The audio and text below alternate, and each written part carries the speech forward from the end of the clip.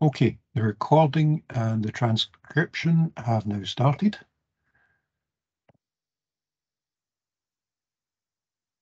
So we're going to talk today a bit more about risk. Um, last week we talked about ways to approach risk. Um, ignore it, transfer it, all that kind of stuff. This week, what I want to do is talk a bit about the types of risk that you might find in an organization. Why am I doing that? Because if we can categorize things and it helps to to look for them, because we, we tend to find the same things happening in, in other organizations. However, as I said last week, when I um, put in the different types, this is not a, a complete list. It's a reasonable set. Ali? Yes, uh, Tony, uh, what about the poll? Like uh, the submission will be tomorrow night? Ali, I just said that, and you, you just watched me update the time and show it to you on Moodle. Weren't you watching? I was watching. I'm sorry, it's like the submission time is, uh, you know, uh, I'm. it's because I just showed you. The, I just showed you the screen and said it was there. You just Yeah. watched me physically Okay. update it. Yeah, thank you so much, Tony.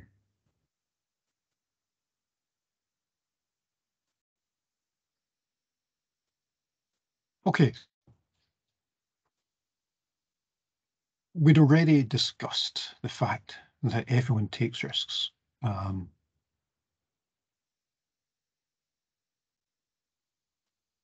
you take risks every day. Crossing the road is a risk.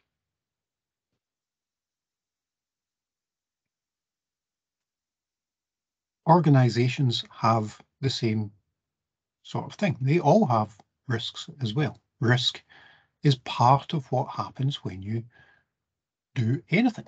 It's almost impossible to do anything without taking a risk. If you hire, say, a new person to run your company, that might fall apart within 38 days because you hire the wrong person.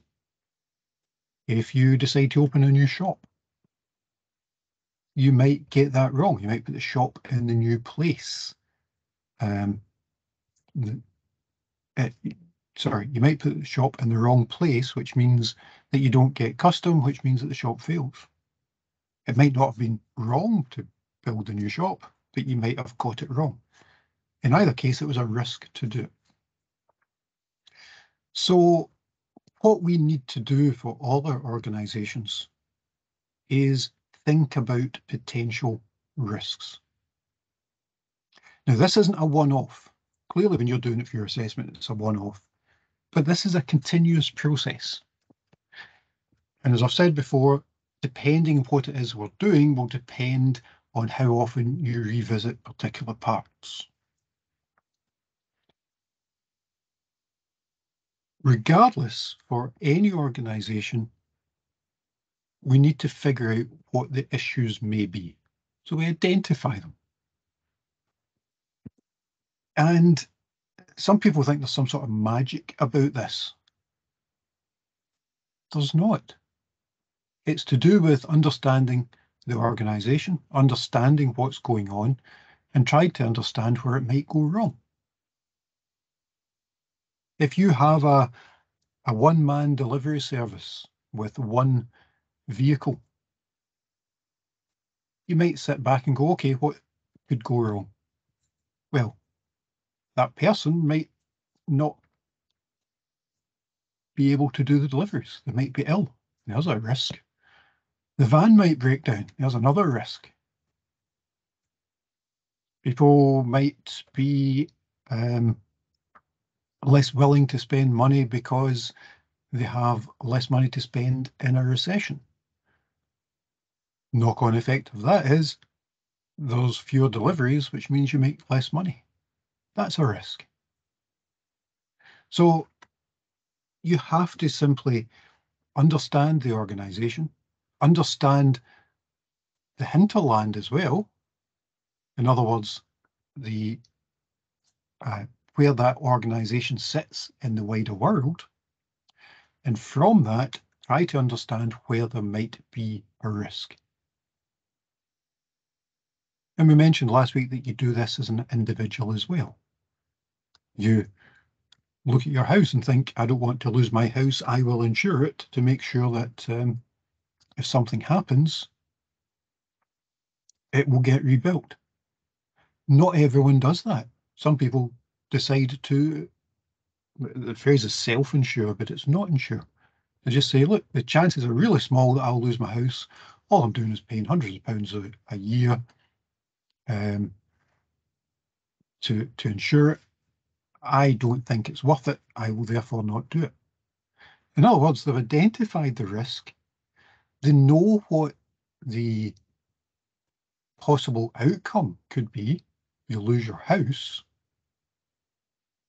They've decided what the chances of that happening are, and they think that's fairly low. And they've decided what to do about it. In this case, accept it.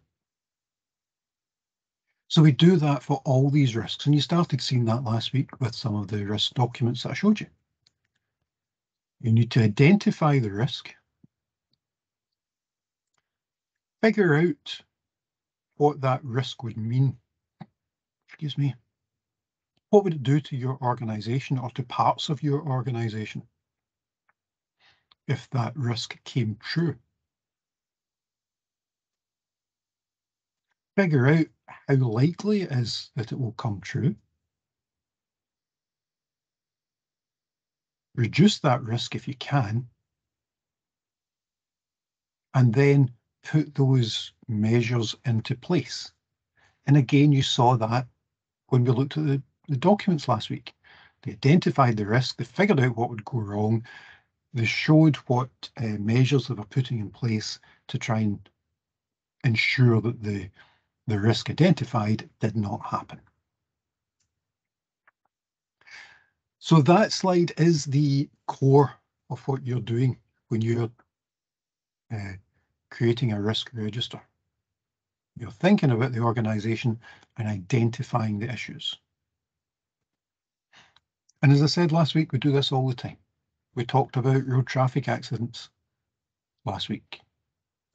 And we talked about what we would do about them. We know they happen. The chances of them happening are pretty much 100%. But we've decided to not uh, change our approach. We haven't taken cars off the road. We've educated people about the risks involved. We might have mitigated the risk by setting up 20 mile an hour zones on the basis that if you get out by a car at 20 miles an hour, the consequences are much lower than if you get hit by a car at 30 miles an hour. That's the same approach that um, is taken when uh, humps are put onto the road. They're working on the basis that people don't actually read the signs, so they will put the humps on to ensure that they slow down. So we do this all the time. It's a similar approach, whether we're doing it personally, a small organization, a large organization, a government, a profit making organization, a non-profit making organization, it doesn't matter. We have the same approach. The only difference is what the issues are for that organization. And this is very much where you want to start reading that case study because there will be general things. will people still want their uh, goods repaired? Will they still come to that company? Does the cost of repair exceed the cost of replacement? So they are specific threats. But there are more general threats. Inflation's going up, which means that wages have to go up which means that the organization has to pay out more money. Is that going to be a threat to the profits? Because if you have to pay more to your staff, you have to raise your prices. Does that mean people will stop coming to you? So that's a general one for pretty much any business. or indeed non-business, anyone who employs any staff. So there'll be specific risks and there'll be more general risks. So you should think about both. And when you're thinking about them, perhaps you could start to think about them from particular approaches. Um, so as I said, I've given you five here. There are others. But these are a reasonable overall approach. So we'll start with strategic risk. So organizations should have a strategy. They should make plans and decide this is what we're going to do. This is how we're going to run our organization. This is where we hope to get to.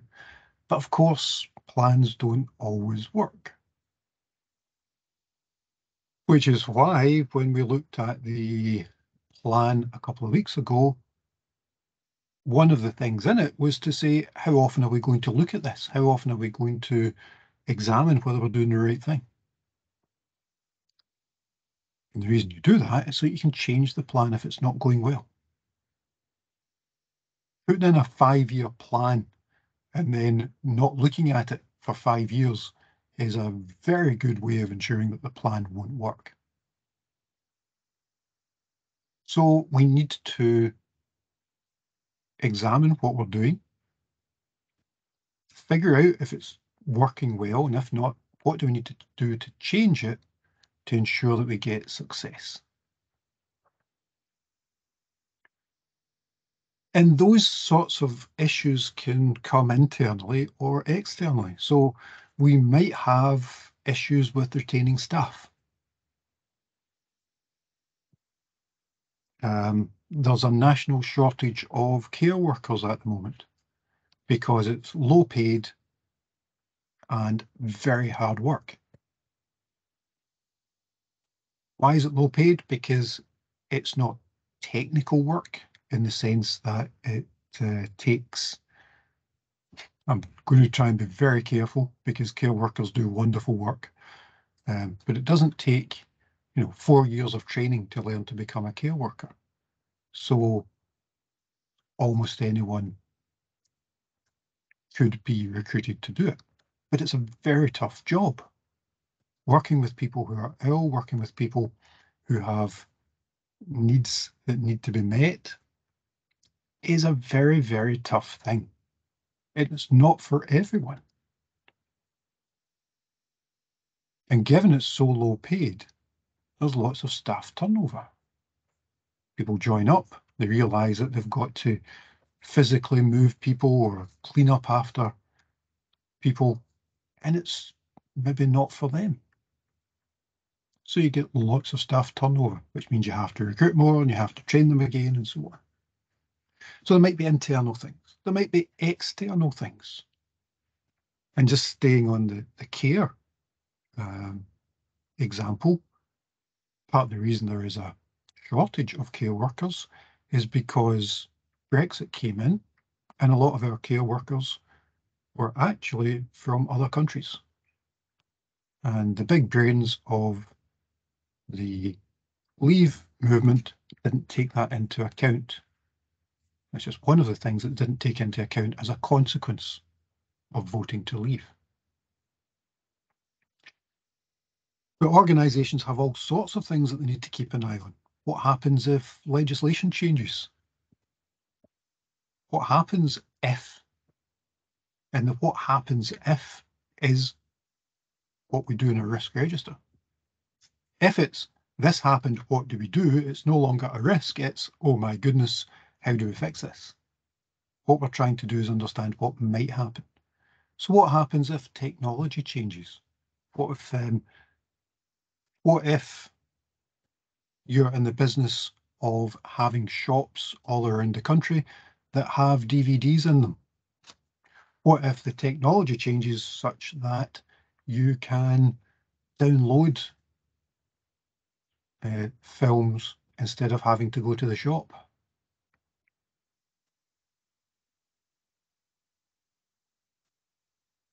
Does anyone know how Netflix actually started? What their original business model was? posting DVDs. Yeah. Their business model was why do people have to go to Blockbuster to get a DVD? Why don't we just send it to them in the post? And they did that for a year or two.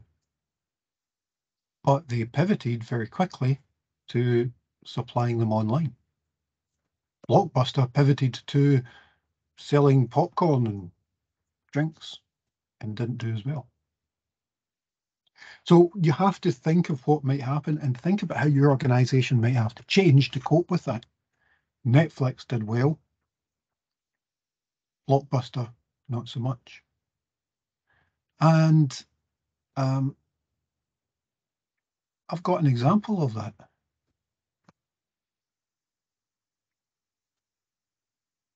Which I'm sure you've looked at because you've all read these uh, presentations beforehand.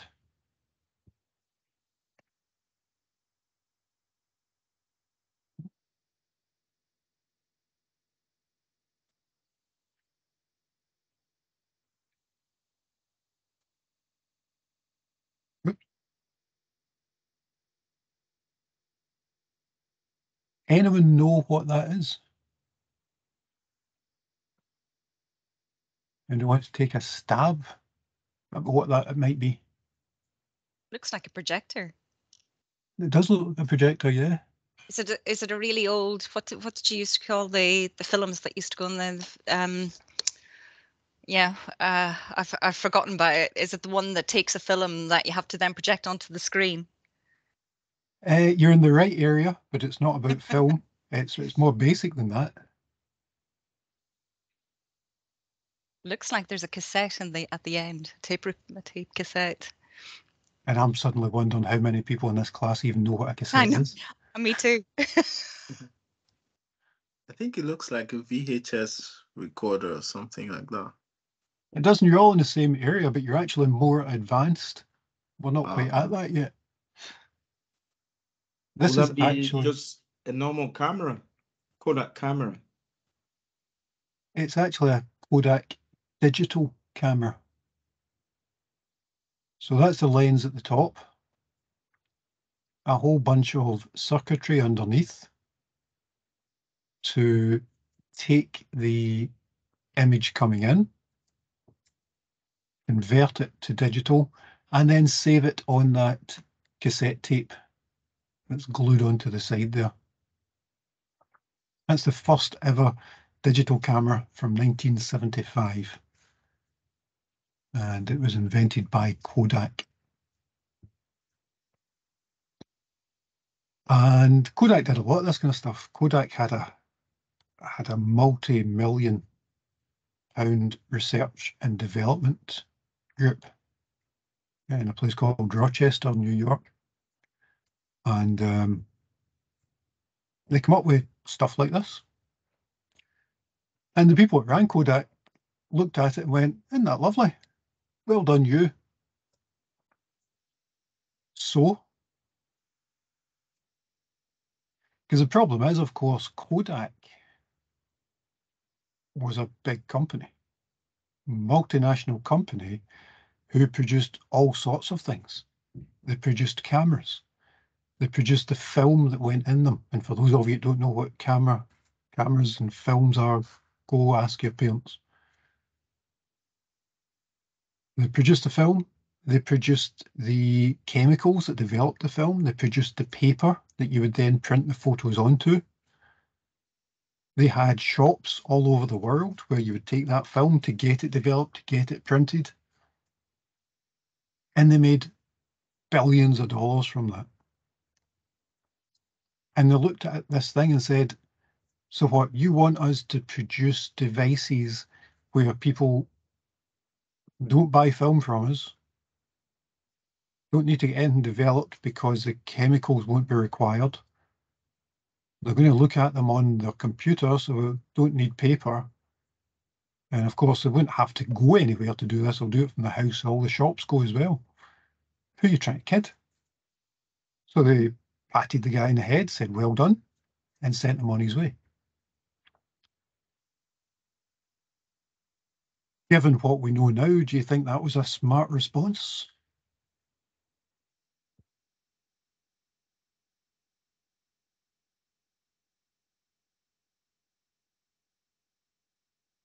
Clearly not.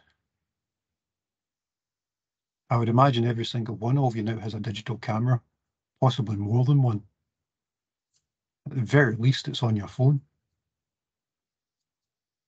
But those phones aren't made by Kodak. If you go and buy a a, a a standalone digital camera, it's not made by Kodak because they didn't want to take that strategic risk. They were quite happy where they were. Other organizations were quite happy to take that risk. They didn't have multi-billion dollar uh, industries already going. So they did take the risk. And sadly, Kodak filed for bankruptcy 10 years ago because their business went. And this picture of the first Kodak digital camera was taken with a Nikon. 1975, Nikon was a company. They made cameras, but they didn't do the film, paper, chemicals, or all the rest of it. They just made the cameras. So they were more than happy to pivot to creating digital cameras. So you have strategic issues. What do you do? What is your organization going to do? Where is it heading? And if you get them wrong, that can be a big problem.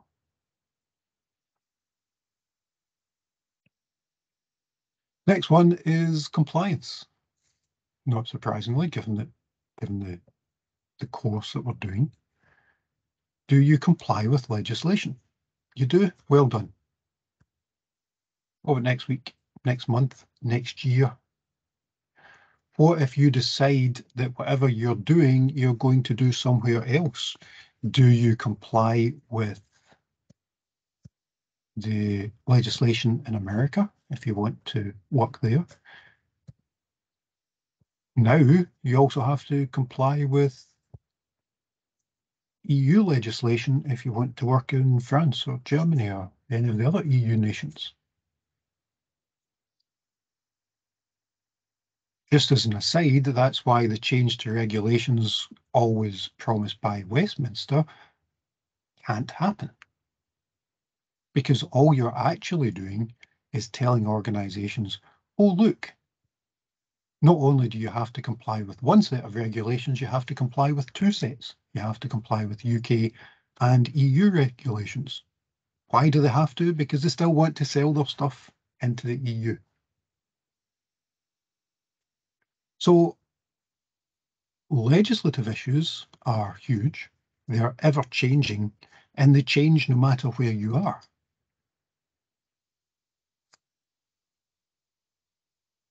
one of the um, things that's allowed in America is to wash chickens in chlorine because the methods of battery farming there mean that there are particular diseases that get passed between the chickens and washing them in chlorine kills that.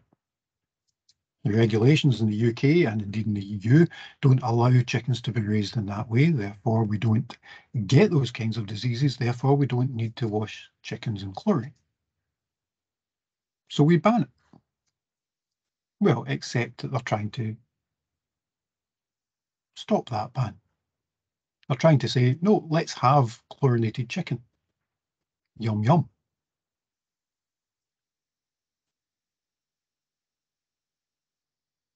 What about changes to other types of legislation? GDPR came in a couple of years ago. And every single organisation that deals with anybody and stores any sort of records, and this isn't just an IT thing, this is anybody, needs to, to comply with GDPR for their records. Were you GDPR compliant? Did you have to change things? How much did that cost? So all of these things are risks. So you have to understand, excuse me, the legislative landscape in which you work. And not all organizations can do this. And we had a discussion earlier about smaller organisations versus larger organisations, as though larger organisations um, were actually better at this kind of stuff. So as I was speaking about GDPR there, what about an organisation um, that's not compliant with GDPR? And three years ago, there was a specific organisation that wasn't compliant. And what they had done was if you phoned up this organisation, they were so big that they could afford um, voice recognition software on their phones. So you phoned them up and rather than saying who you were and the first line of your address and your postcode and all that kind of stuff, you just started speaking. And it went, oh, you've spoken to us before. We know who you are. We recognise your voice. Aren't we cool? Of course, to do that, you have to store the voice print of the people that phone you up. This organisation, in their haste to do this, didn't actually ask anyone if they were okay with that. And of course, voice print information is personal information. And therefore, if you want to store it and be compliant with GDPR, you have to ask people. They didn't, and were found to be in breach of GDPR by the Information Commissioner's Office. Anyone know which organisation I'm talking about?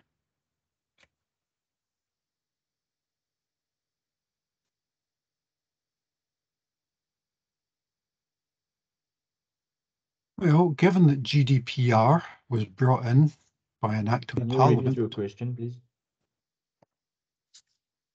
I was just going to tell you who did this. Given that this was brought in by an act of parliament, you would think that all areas of government would understand it. But the organisation that didn't follow GDPR was Her Majesty's Revenue and Customs. The taxman fell foul of GDPR regulations. So if one of the biggest organisations in the country has a problem, maybe it's going to be a problem for other organisations as well. The third category you might want to look at is operational risk. Things that happen internally. And I mentioned earlier about um, finance. Well, that can happen in the way we spoke about in week one, where it can affect a whole organisation, but fraud can easily happen elsewhere as well. If you have someone whose job it is to write a check, or these days more likely print a check, or even more likely do a bank transfer. So there's a bank transfer to be done, somebody needs paid, that's fine. Somebody should be paid a thousand pounds and someone has the authority to go and do that. Lovely. But what if they, instead of typing in a thousand, type in a hundred thousand? Because they've made a an agreement with the third party organisation. I'll send you more money, you keep half, I'll keep half. Fraud in that kind of way is really easy to do. Anybody who's ever worked in a service industry where there's a till will know that.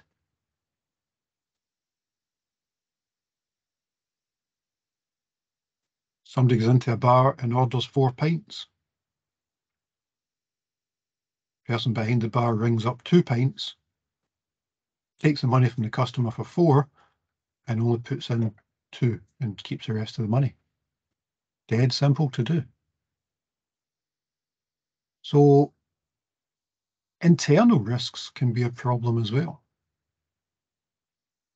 And I feel as if I'm picking on people, but it's not just people, of course, other risks exist. What about technical risk? And here I've talked about a, a, a main server for your computers. It could be simpler than that. If you're running a service company, let's see if we can think of a service company that we've been looking at recently. What if your phone goes down and nobody can phone you up to say, can you come out and fix our fridge, please? What happens if there's a power cut? What happens if there's rolling blackouts? What happens if the lights go out and don't come back on again till the next day? No matter what's happening, you have to think about those operational risks and figure out what you're going to do if it goes, if those things happen. In other words, how are you going to minimize the damage? And the one thing that we know for sure is that every single organization that exists will have fallen foul of operational risk. I've got some examples there and I have homed in on IT companies, but it's not just IT. Many times have you gone onto Facebook and it's not been available, or WhatsApp, or Google Mail, or your banking app? Have you ever gone into a shop and found it's closed because the there's been a flood because the toilets have overflowed? Have you ever turned up at a hotel and your booking hasn't been recognised because it's not been put in properly, or it's in for the next day or the next week, or it's put in under a different name? And if you get a name like mine, that happens all the time. Every company can have operational risk. Just like every organization can have a financial risk.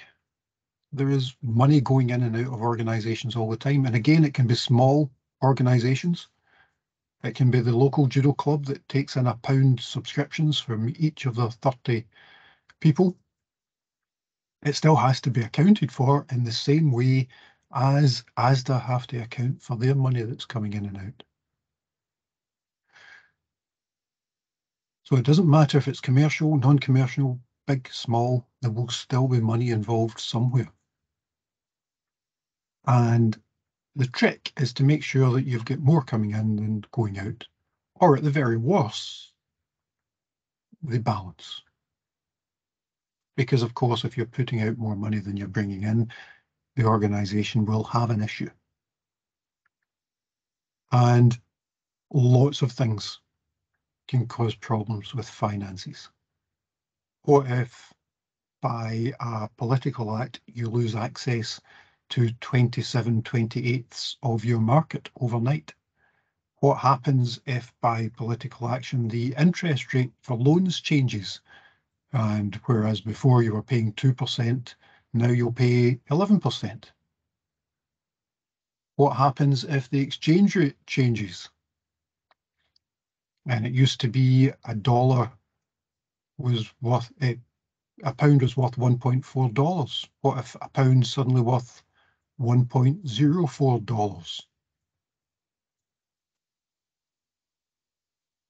Don't know if this is ringing any bells anywhere, but for any organization who has to cope with that, that's a huge risk.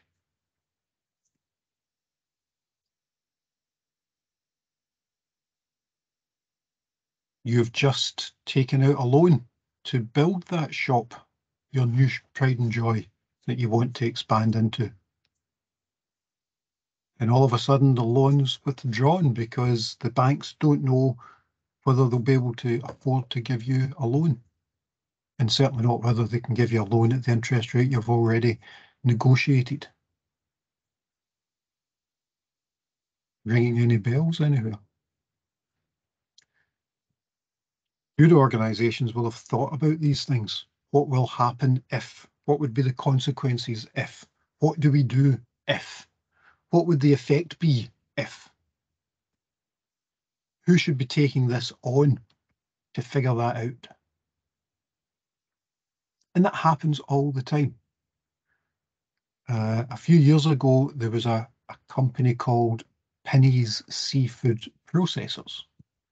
Um, if you've ever been into any shop and bought frozen food, their uh, their Youngs is the is a brand on them.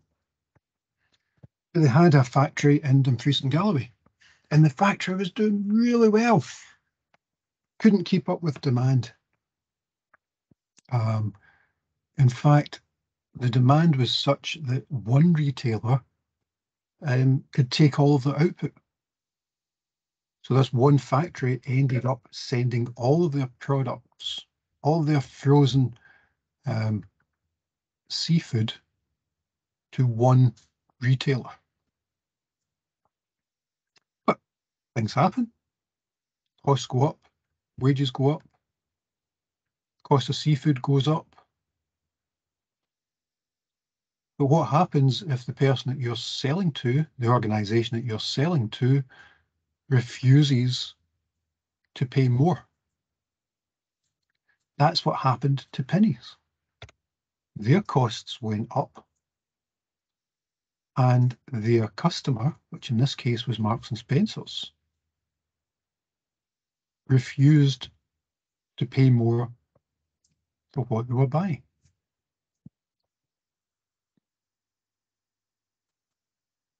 It wanted Pinneys to bear the cost of all these increases in raw materials. What did it do? Couldn't do it. It just simply couldn't do it at those prices. So it simply said to Marks and Spencer's, thanks, but no thanks. Goodbye. And closed the factory and 577 people were made redundant. Can't think of much more of a higher financial risk than having all of your finances dependent on one customer. Because if anything happens to that customer, you're stuck. And the final one I want to look at is one that always seems to be happening now is reputational risk. And if you listen to some of the right ring press, they will name this cancel culture. The idea that um, people might not be too happy if organizations do particular things.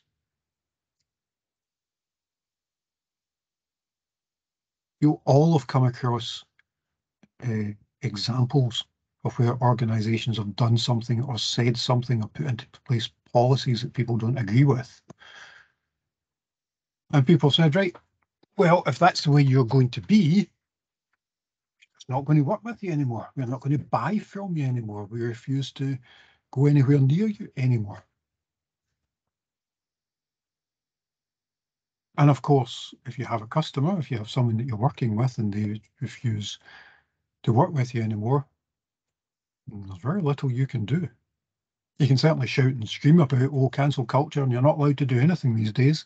But in the end, people have a, a choice that they can make. And they can exercise that choice.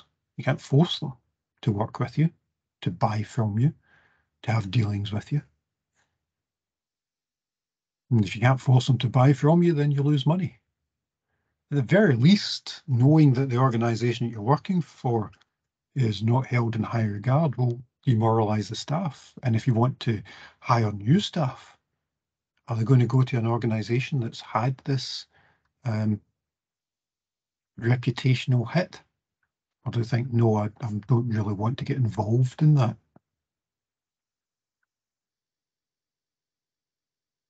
It can happen in all sorts of ways. There was a, uh, an American pharmaceutical company who were blackmailed. Basically, some nutter wandered around, opened up some packets of their uh, the medicines and stuck in some nasty stuff. Sent them a letter saying, if you want to know where this is, let me know and let me know with lots and lots of used banknotes. When the company said, no chance, what did they do? They simply told everybody what was going on and recalled all of their products. A huge undertaking, hugely expensive, but it worked out really well because everyone looked at this company and said, look at what they're doing here. They know that there's two or three packets of, our, of their medicines that are going to cause an issue, what have they done? They've recalled everything so that no one's going to get hurt. That's the kind of company that I can get behind. If I need some medicine in the future, I'll go to them because I know that they'll do the right thing.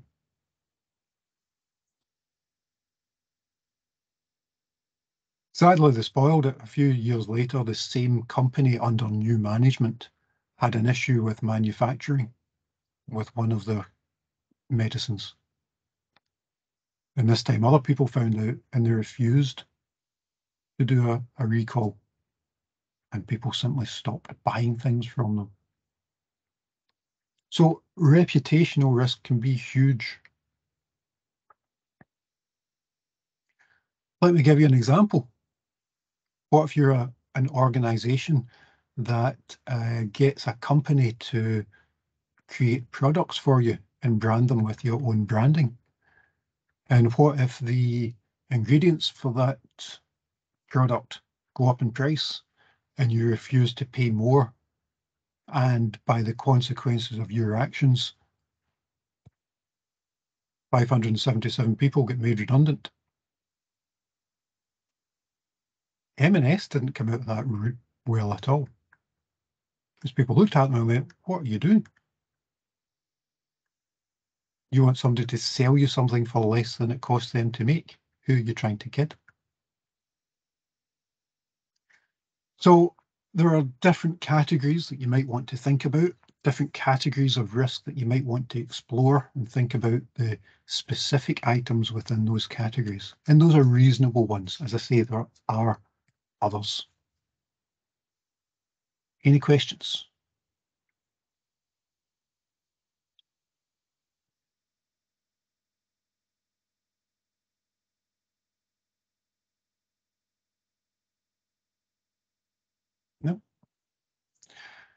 No, sir. Okay. One of the things I want you to do, not right now, is um, on the back of that and the back of last week, I want you to think about the case study and the risks and the impact and what you might want to do about them. Okay. Um, as I did last week, I also want to go through some real world examples. But given that we had so many questions, I think we need a quick five minute break. Normally I do 10, but um, we're really struggling for time today. So will we take five minutes and I'll see you back here in five? Thank you, Tony.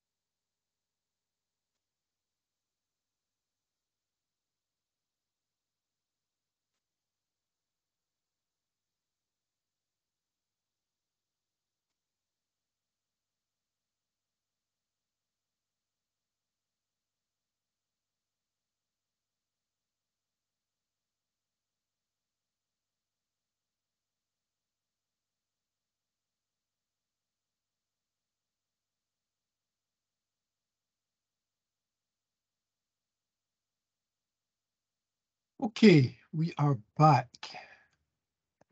So has anyone thought of any questions from the stuff that we're doing before the break?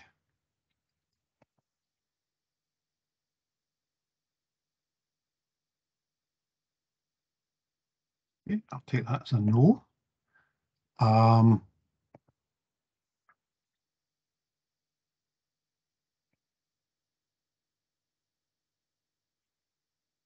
so, like I did last week, I've got a couple of um, risk registers that I want to show you. And first thing to, to note here is that this is a specific risk register. It's the strategic one.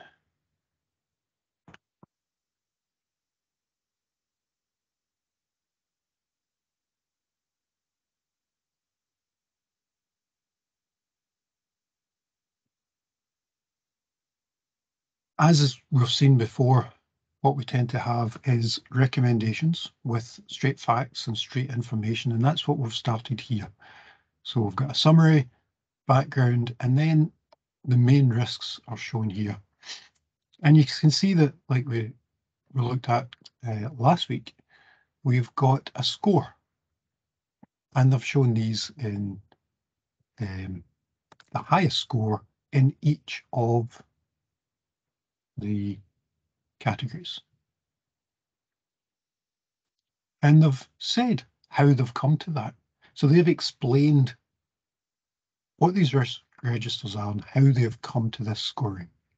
Because the people that accept this report might not be experts in risk or in risk registers or in how they're laid out or in anything else.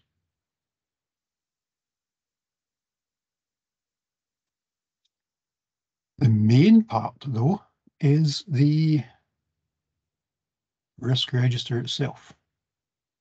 And you can see that it's similar to last week, but more comprehensive. So we've got the same kind of idea. We've got the risk title and a description. What actually is the risk? This one, they've decided, okay, we're going to start adding in IDs so that when talking about them, we don't have to um, use the full title and just say it's this ID, go look it up. And we've also said who's going to manage this risk. Here it's the head of finance. So this is a finance issue. Budgetary pressures. So same as with every other health uh, service, lots of people needing the service, less money to be used. They're saying what they're going to do to mitigate the issues. A reasonably foreseeable risk remaining. So even after doing this, this is what might happen. So they're still thinking about, oh, okay, what could be the issues here? And that's the core of a risk register. What can go wrong? So if we've done this and there still might be a risk, what do we do next? And then they have given a risk.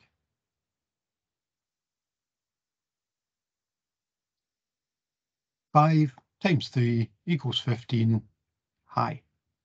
So it's the same as last week, except I'm not using the um, the five by five matrix.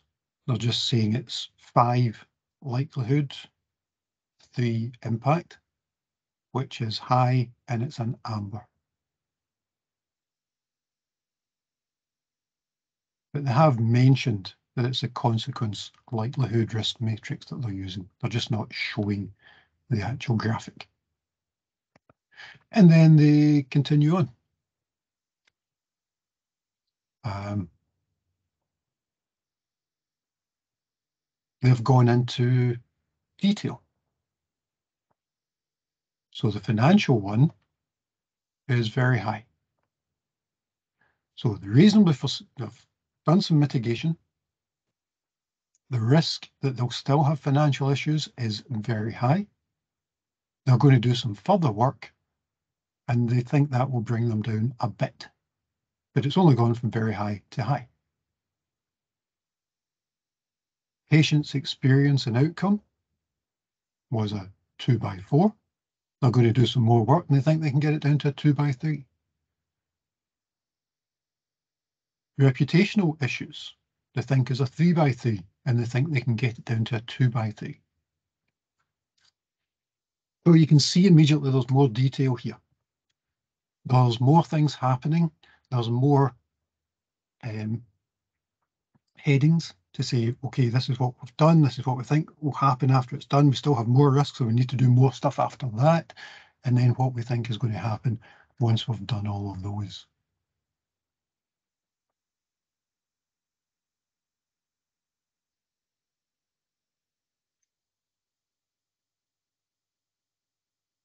They've also said what their judgment of the risk is. Are they going to do something about it, which is the treat, or are they going to live with it, which is tolerate? And they're saying, no, we need to do something about this. We need to treat this, and what we're treating it with is our financial plan. So we're going to change how we're doing things.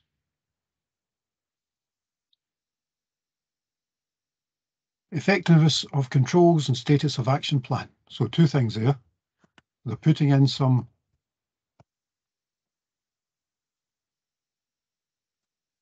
control measures and possibly further controls. And they're saying, okay, after we do that,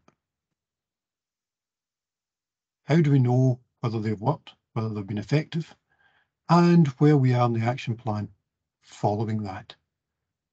And they've said, we are going to keep an eye on this monthly. because it's the sort of thing you can't let go out of control.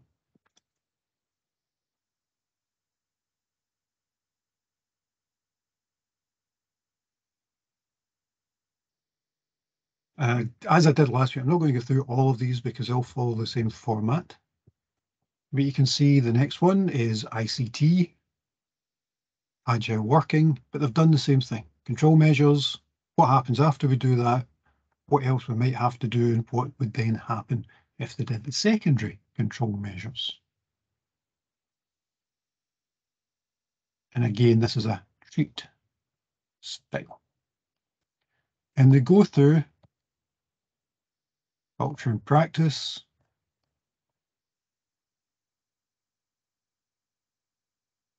change program delivery, how they're going to do things differently in future. governance. Governance is a risk.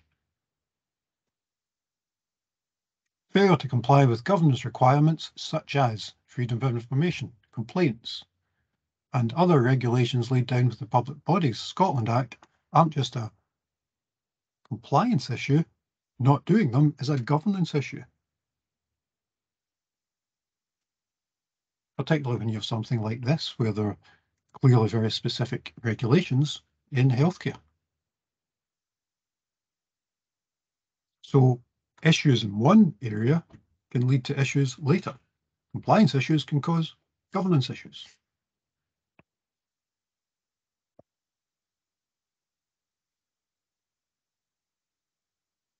Demography and inequality pressures.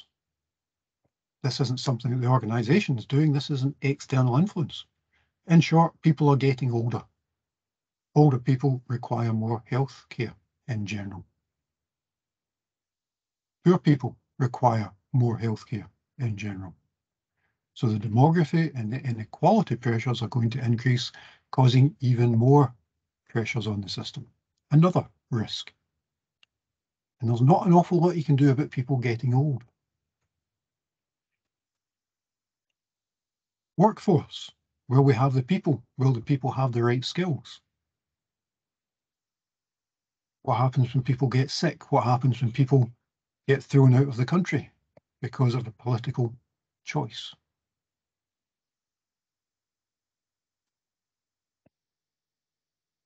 And here they've got a second appendix.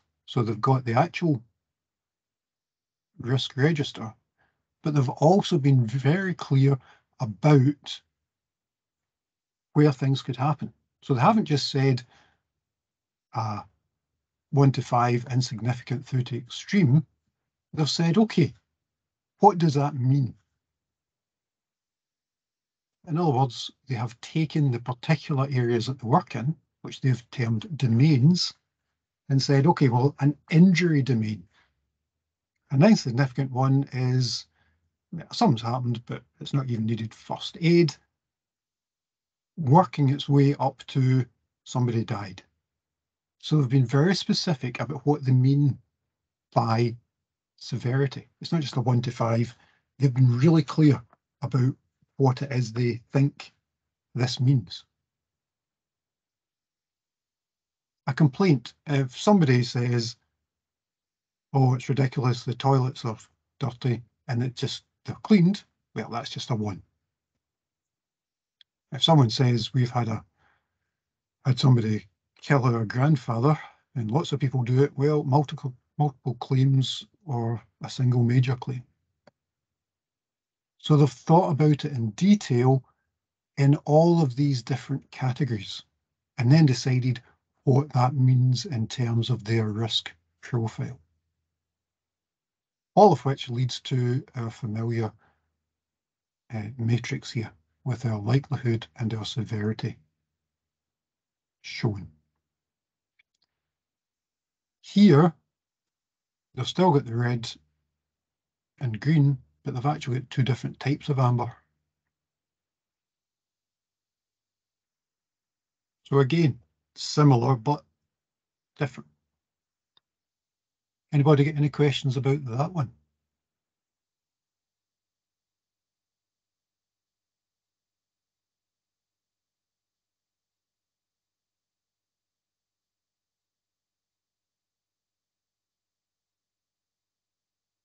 Sorry, and I should have said part of the reason I've taken two amber is action required or immediate action required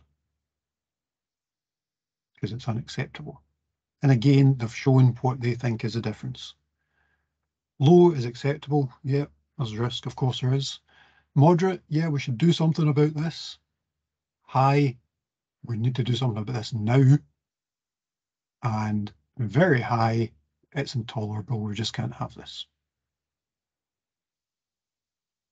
So they've been very clear about what the risks are, how they've measured them, what that means in the different areas, and what the consequences should be. Okay, one final one. And again, same kind of themes coming in, but a slightly different uh, approach and a slightly different uh, risk register. Here they've chosen themes, resources, planning, inequality, health, governance, protection and engagement. Well, look at that, governance is a risk as well. Now, I'll say right now that I have a slight issue with this page. Anyone want to make a guess at what the issue I have is?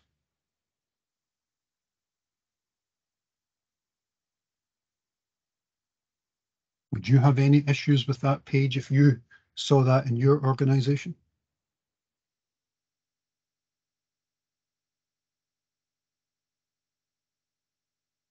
Would anything there trigger a response?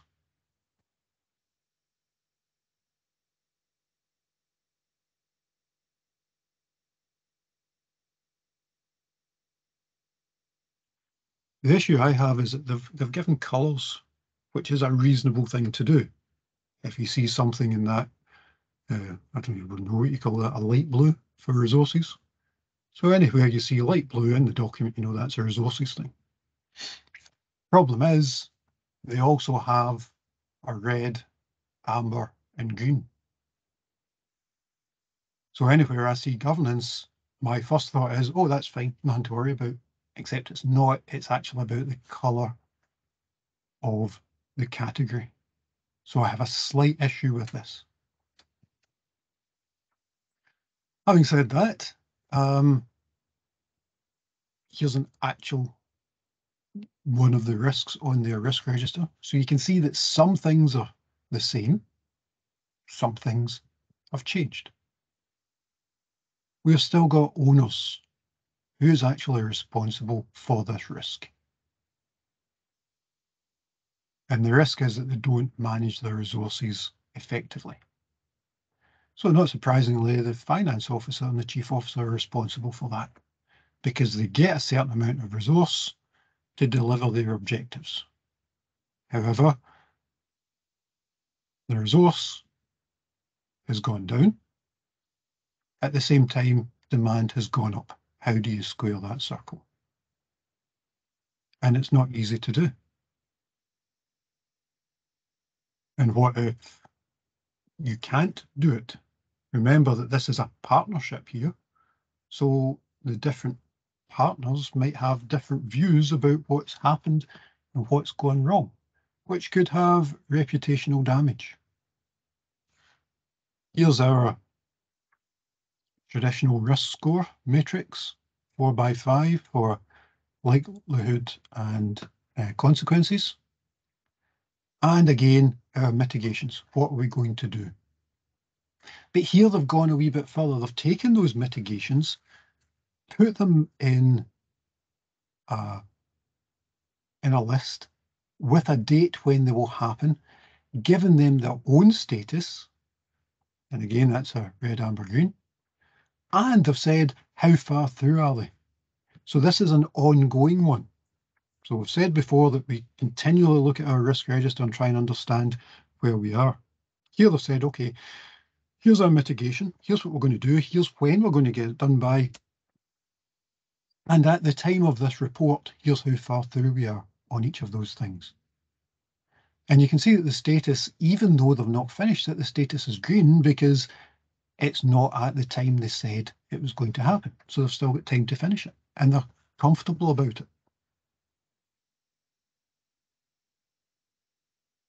This one, less comfortable and amber because they haven't done anything in essence since the last report.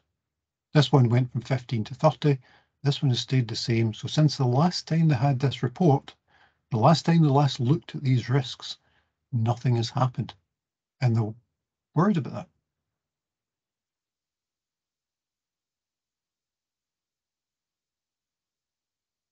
This one is finished. So they've ticked off. Yep, look, we've done that. It's in place. We're done. And you can see that it's 100% now from 70 the last time. So they've done it between the last version of this and the new one. They've ticked off. We are happy. See, I did it there. I moved my next page. I saw this big yellow thing and I thought, oh, something's gone wrong. And it's not, it's just the colour for uh, the planning theme. Same when I saw that big red bit there. It gets me worried. So they followed the same kind of layout all the way through with detail on what's happening.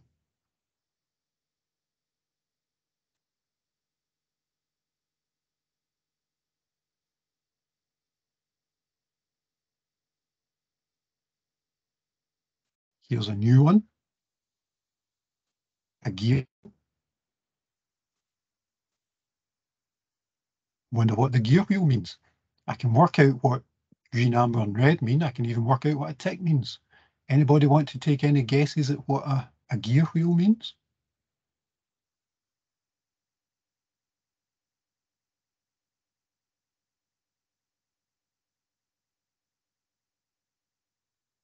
Options? Options could be. Any other thoughts?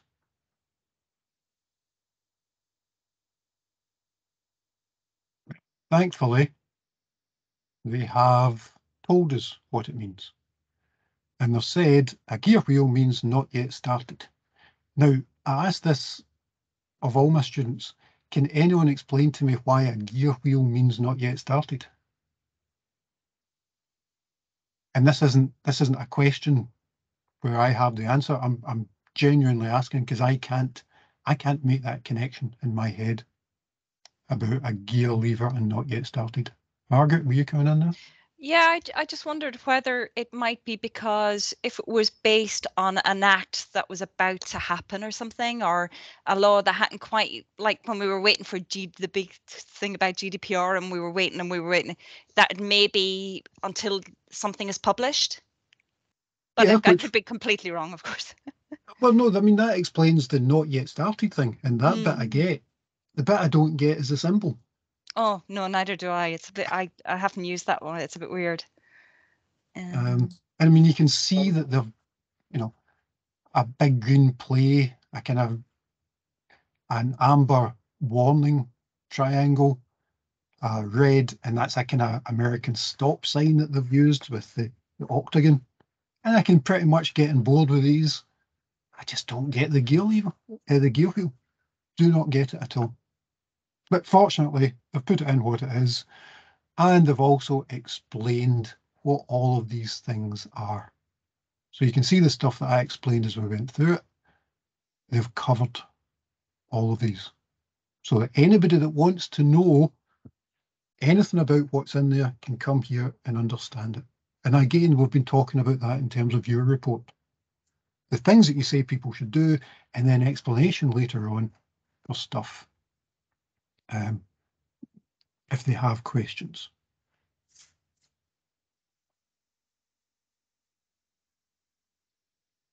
Speaking of which, anybody get any questions about that one?